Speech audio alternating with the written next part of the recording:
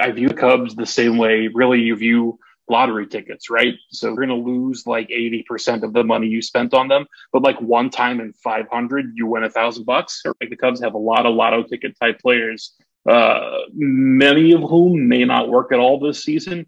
But if all of a sudden Cody Bellinger is an MVP candidate again, then who knows? Would it shock me if the Cubs were a second place team? It would not. Would the Cubs would it shock me if the Cubs were a fourth place team? Not really if nothing else, they did go out and add veteran players this winter who, if some or any of them hit, either they can be uh, a much better team this year, or those are guys you can flip come deadline time